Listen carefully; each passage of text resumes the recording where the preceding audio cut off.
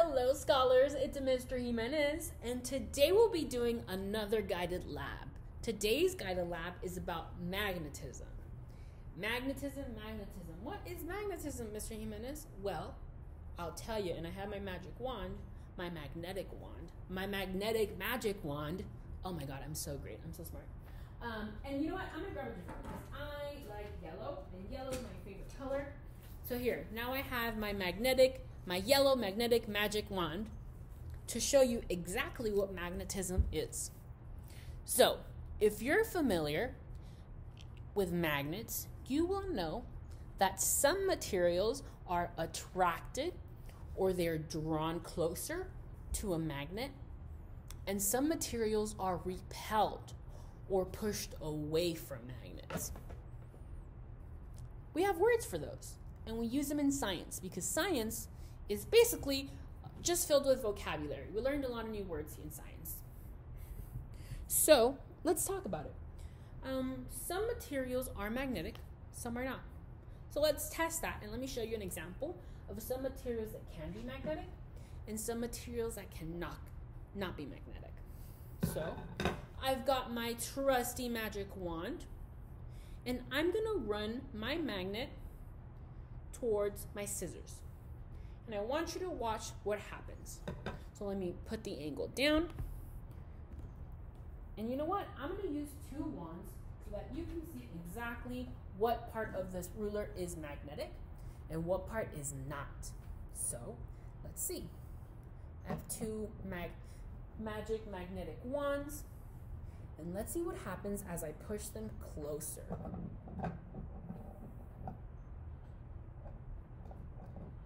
Okay, I'm pulling, I'm pulling, I'm pulling. Which of these is pulling the scissors? What part, what side of this is pulling the scissors?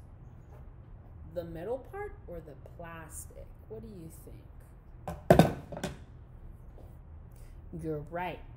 The metal or the steel part of the scissors is magnetic because it is attracted or it is drawn closer to the magnet. If I were to flip this around, let's see what happens.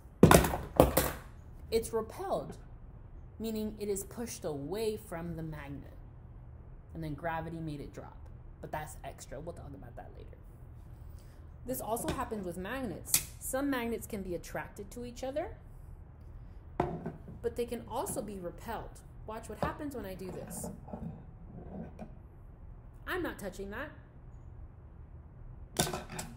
It's attracted. If I flip it around, not crazy. And I can, I can keep doing that because magnets can be attracted, but they can also be repelled by each other. So let's try this and let's test this theory on different materials. Now, a common misconception and something, something, ugh, my words got all jumbled.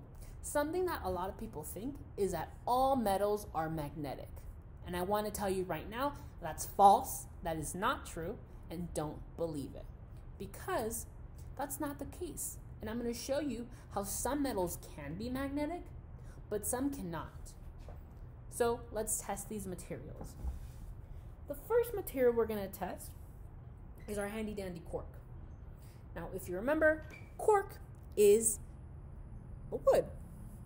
Now, in your experience, is wood magnetic?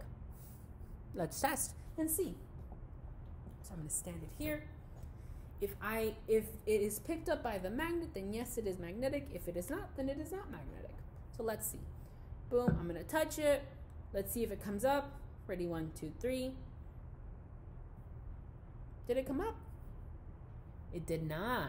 So, is this cork magnetic or non magnetic? Ow, I hit myself. That hurt.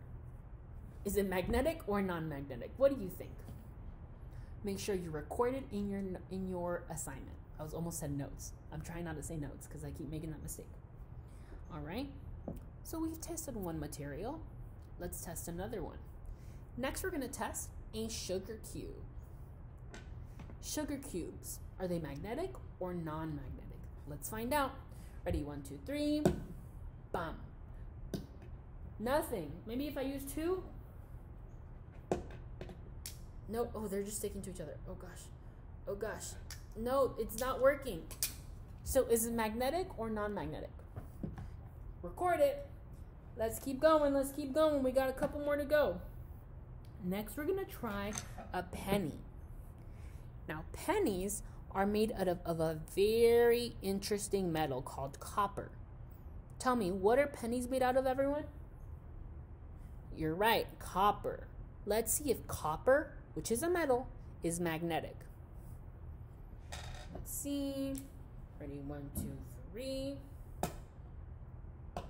Oh, it's not working. But it's a metal. Shouldn't all metals work? You're right. If you remember correctly, earlier I said that not all metals are magnetic. So is a copper penny magnetic? No, it's not because it is not attracted to the magnet. And I gave you an answer. So just write it down, okay? But remember that pennies are not magnetic. It is very important you remember this. Next material is an iron nail. Now, iron is another type of metal. It is not made out of copper, it's made out of iron. So let's see if this iron nail is magnetic or if it is not magnetic. Let's go ahead and try it. You ready? Ready? One, two, three. Magic. Where's the nail? It is stuck to our magnet. So is our iron nail magnetic or not magnetic? You be the judge. Put it in your assignment. Next material is a craft stick, this which is made out of wood. Now remember, we tested another wood object earlier, which was cork. What do you remember about the wood? Let's see if it's true for this wood too. Ready, one, two, three. No, it's not working. Why is it not working? Is this popsicle stick magnetic or not magnetic? What do you think? Hmm, put it down in your notes. And then we're to test two more objects. Now, what I'm to do with these objects is I'm to be a little safe because if they get stuck to my magnet, they're so small that they're to be really hard to pull out. So let's use this plastic bag. Beautiful. And I'm just to wrap my magnet in it just to be safe. So it's now it's my plastic magic yellow magnetic wand. Oh my god, so many words. But it still works just fine, right? If I put my iron nail, it sticks because it is attracted to the magnet. So the next material we're going to use is sand. Now I'm going to get a little bit closer to you so that you can see this up close. I'm going to dip my um, my wand in here and I'm going to see if anything sticks to my magnetic wand. Do you see anything on there? I don't. Why? Well, because the sand is not attracted to the magnet. So, what do we call? What do we say? Is the sand magnetic or non magnetic? Hmm. Write it down in your notes. Not your notes. Oh my God, I said it again. In your assignment. Oh gosh, Mr. Jimenez, you gotta fix that. And then last but not least is a material called iron filings. We talked about this earlier with the conductivity lab, and we know that this is tiny pieces of metal. So let's try it. Are iron filings magnetic or non-magnetic? Let's see. I'm going to take it here, and I'm going to dip this in there very carefully. Watch what's happening. Watch what's happening. Whoa! Look at that. So, what do you think? Are these iron filings magnetic or non magnetic? Hmm. They're obviously stuck and they're making really cool formations. Let me move over here. You can see a little bit better. I'll get closer. I just don't want to get it on my computer. Boop. So, are iron filings magnetic or non magnetic? What do you think, guys? What do you think? Write it down in your assignment. Boom, boom, boom, boom, boom. Write it down, write it down. Alrighty, guys.